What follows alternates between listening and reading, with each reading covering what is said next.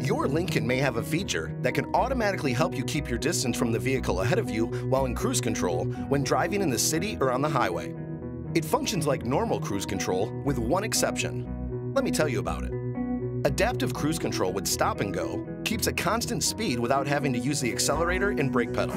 But it also automatically maintains a comfortable preset distance from the vehicle in front of you and can bring the vehicle to a complete stop if needed in heavy traffic.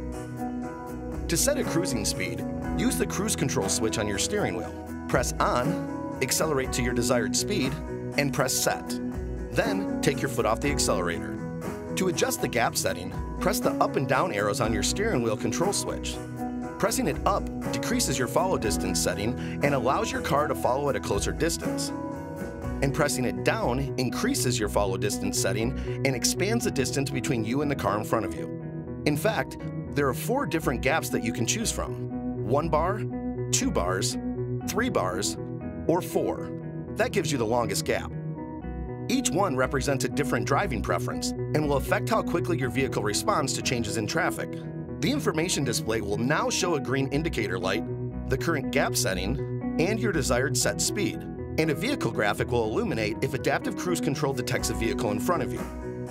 Once Adaptive Cruise is on, it uses radar and camera technology to constantly scan for slower vehicles in front of you and automatically adjust your speed to maintain the gap. You may notice that on occasion, you go slower than you initially set your cruise for.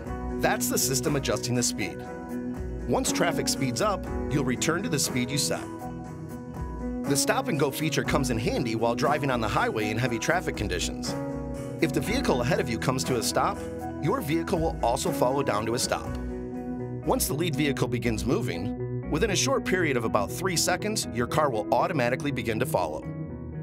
If it takes longer to move, you can press the resume button on your steering wheel or tap the accelerator pedal to start following the lead vehicle again. To switch between adaptive cruise control or normal cruise, use the quick action menu control on your steering wheel and the information display.